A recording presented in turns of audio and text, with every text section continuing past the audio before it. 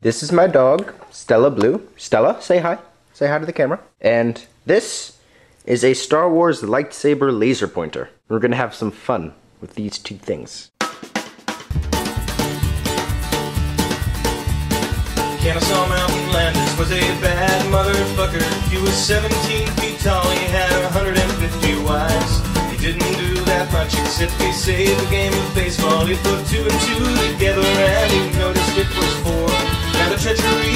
Shoeless Joe can't hurt us anymore.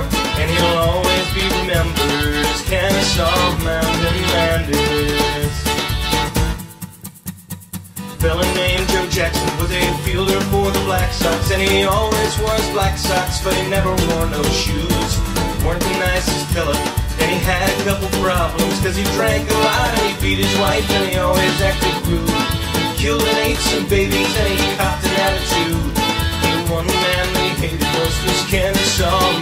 One